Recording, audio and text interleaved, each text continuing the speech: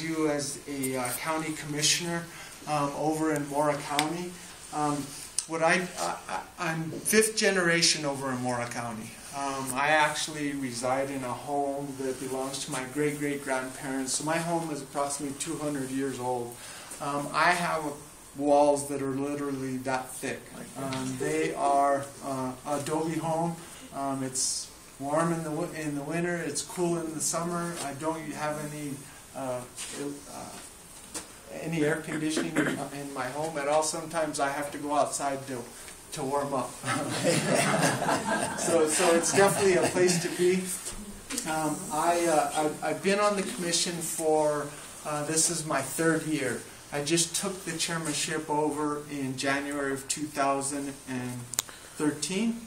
Um, what has been happening for several years now has been uh, oil and gas industry, hydraulic fracturing has actually been uh, kind of knocking at the doors of northeastern New Mexico.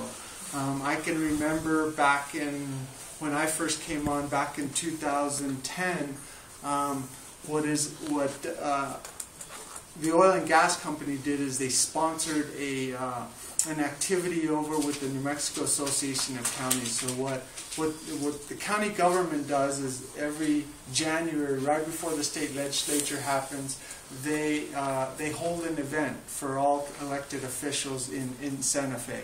Um, the oil and gas industry actually sponsored that activity. Um, what they did is they uh, called for all northeastern New Mexico elected officials to come over to this presentation that oil and gas had. Um, they had a vested interest in northeastern New Mexico that encompasses Mora County, San Miguel County, Union County, Guadalupe County, and Colfax County. We know north of us in Colfax County there's already activity of drilling that's happening up there. Um, Raton has a whole bunch of wells that are in there. Um, what has happened over the last couple years, and um, we've been looking at different options about either regulating oil and gas, and there's a lot of communities that have done that.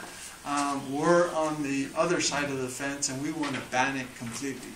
Um, so there's a lot of pushback that's happening within our community about, not necessarily within the community, but from the industry, uh, from, uh, uh, from attorneys that are actually looking at what it is we're trying to do.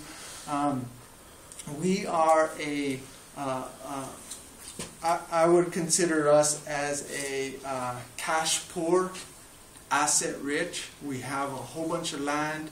Um, I, I, would not consider us a, a, poor community, although financially, if you want to call it that, that's what we are.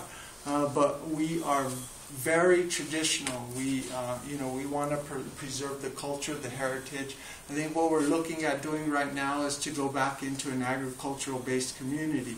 There's a lot of efforts going on within our community right now to um, to begin co-ops. Uh, there's coal frames that are going on. Um, there are uh, there's a lot of activity around agriculture that is going on. So when you start talking about the agriculture-based